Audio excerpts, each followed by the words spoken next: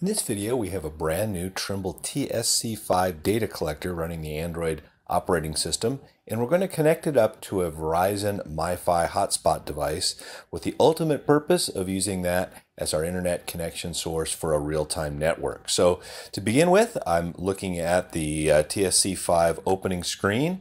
So what I'm going to go ahead and do is I'm going to go ahead and swipe up from the bottom and I'll slide up just a little bit further until I see the settings option that's on the right hand side. So I'm just going to tap that with my finger here. And under network and internet in the settings, we'll open that up. I can see that my Wi-Fi is toggled on, but uh, it's not connected to an existing Wi-Fi network. So let's go ahead and select that. And it's searching for Wi-Fi networks in the area right now. And there's several different ones available. My MiFi device happens to be a Verizon uh, 8800L model, so I'm just going to go ahead and tap that out of the list there. And when I do, it's prompting me for a password. So I've got that password handy. So let's select that and type it in.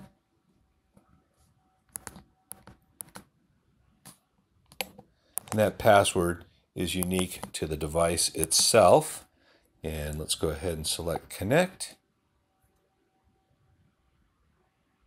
And there we go. There you have it. So uh, I'm connected to that device at this stage of the game, and what remains to be do done is to go back into Trimble Access and configure that for the real-time network. So to back out of this option, I'll either hit the back arrow, the upper left, or I can just kind of hit that little circle home key at the very top center of the keypad of the TSC5.